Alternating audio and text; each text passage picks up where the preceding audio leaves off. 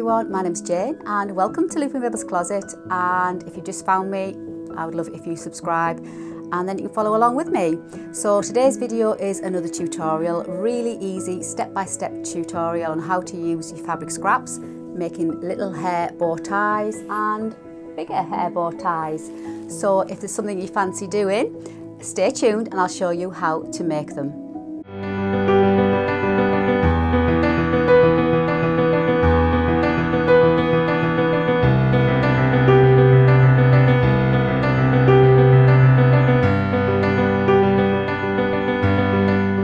And welcome back. So yeah, another scrap busting project to get your teeth into. Really simple, really quick to make. Uh, we've all got scraps and following on from my gorgeous quilted coasters, which everybody seems to love, I have made something else with my scraps because I have got a serious lot of scraps and I hate throwing scraps out if you're like me. And I think it's good to reuse, recycle, you know, use it up so and then make the prettiest gifts. So, like I said in the intro, we've got the cute little hair bow ties, cutest thing. I'll pop some pictures up of me wearing them and a little video of me wearing it in my hair just to give you an idea. And I've just made a few in my little obviously floral print scraps that I had. And also in the tutorial, I'm going to show you how to create and make the larger bow, which is the larger bow tie as well to pop in your hair. So you've got two options, the larger one, obviously the smaller one. And as I say, you can make them in no time. And these, these ones take the tiniest bit of scraps up, which are absolutely ideal. These take a little bit more scrap, but more length scrap, um, but still really pretty to make. I love them. And obviously set off your outfit as well. And then bring a little bit of colour into your outfit. If you're wearing something plain like I've got on my plain poppy pinafore today then I just pop that one in my hair. And it just brings a little pop of colour. So they're great for doing that as well not just for gift ideas for yourself. I'll be wearing mine all the time. I've got loads of them cut out and all my scraps. So stay tuned and I'll show you how to make these so if you want to follow along with me in the tutorial, I've got a free PDF pattern that I've, I've created for you. So if you want to pause the video, download the PDF pattern, cut it out, stick it together, cut it out, and then press play and then you can follow along and you can actually follow along with me with your template right in front of you. But yeah, there's a free PDF template which you're more than welcome to use. So without further ado, without any more of my waffling, let's go to the tutorial. So once you've downloaded the PDF pattern, just going to stick it together and I've just put some registration marks on there to help you line up the pattern. So I'm just sticking it together, ready to cut out. Just using my paper blade on my rotary cutter to cut out the paper ones. I have two rotary cutters, one for fabric and one for cutting paper. So I just quickly cut out the templates. And Geordie's joining us there. And you just need some hair ties. And obviously scrap fabrics.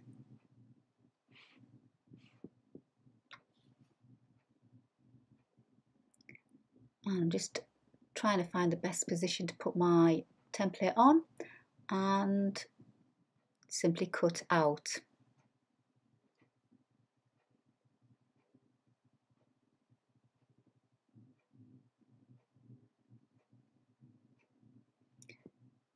Now I'll put a couple of notches in if you need to use them just to leave the opening for when you stitch the two pieces together. So I'm just putting them right sides together now.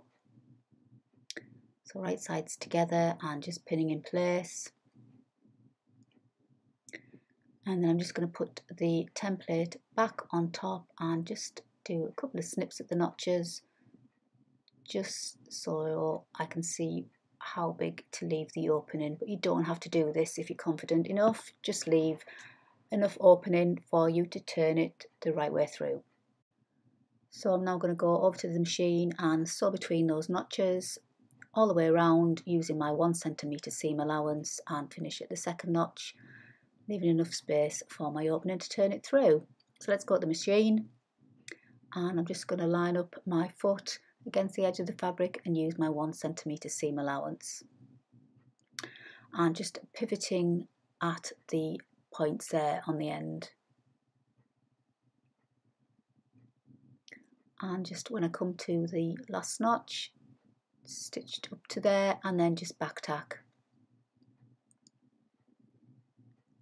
Remove my pins and I've got a big enough opening to turn it through. I'm just going to trim off some of the bulk of the both ends there.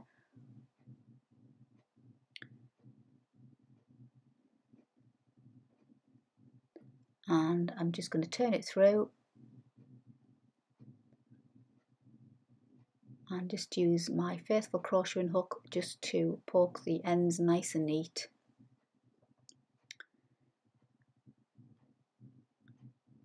like so and I've just got to close up my opening and give it a press. So I'm just going to pin it in place and just stitch that opening closed on the machine and just stitch close to the edge to close that opening and back tack to finish. Like so. Trim off the excess stitching thread and just give it a press. And that's how easy that is to make and I'm just going to literally pop it through the hair tie. And tie it in a knot to create that little bow on the elastic band there and just tighten the knot and there you have cute little hair tie. How easy were they to make. And just quickly making another one with some more pretty fabric scraps that I've got.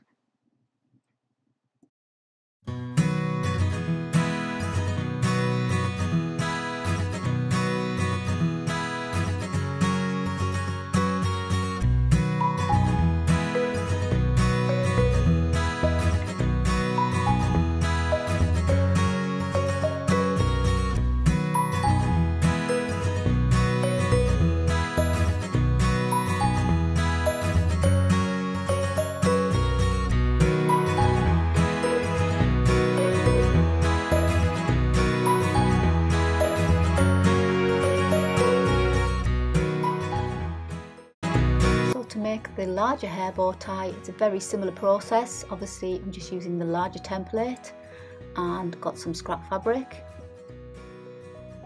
and just need to give it a press. So I've chosen this pretty viscose fabric. Give it a quick press because it's been in my scrap box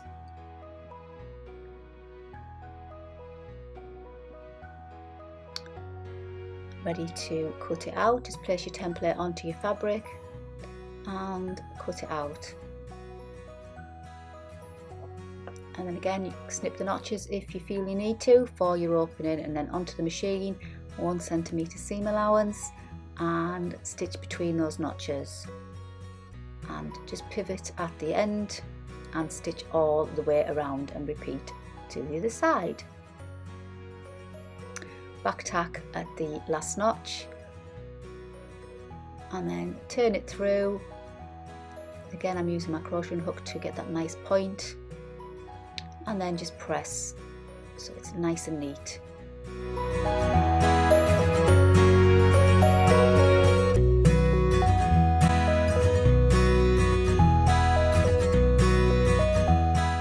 And I just need to close that opening on the machine and there we go all done. And it's as simple as the small hair ties. You just literally pop it through your elastic band.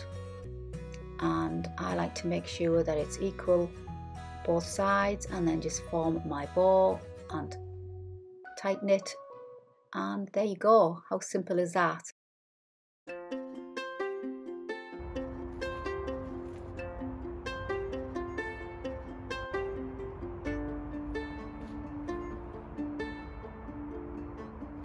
So So that's it. How easy was that to make both the little ones and the larger one? I just absolutely love them. And that one's going to be mine, the green one, because I think it goes quite well too with my green poppy pinafore. And also, it's the scraps off my Dorothy dress. It's the scrap fabric that I used when I made that and I just thought how lovely would that make as it's just a, a little added touch to my outfit when I put my Dorothy dress on. Pattern's coming for that very soon. Well, the pattern's coming for that soon. This pattern's coming first, the Poppy Pinafore. And if you've just found me and you don't know, I also do a ready to wear selection now of clothing and this is the Poppy Pinafore ready to wear. These are all earmarked to go out in the post. Thank you so much for all those orders. I'm absolutely blown away by your support. Absolutely thrilled to bits and I'm loving this side of uh, my sewing journey. And yeah, so these are all earmarked to go out. I've got large, medium and some smalls going out. And the actual PDF and the paper pattern is coming along absolutely brilliantly. It's going to be published, fingers crossed, in January 2021, so not long for all of those of you who would prefer to make your own Poppy Pinafore. I'll pop some pictures of, of me wearing it so you know what it looks like and I just absolutely love it. I did this in the green linen and it's got the buttons down the back. Absolutely love it. And I've got my crochet collar on today that I've just designed and that will be a full tutorial over on my crochet channel.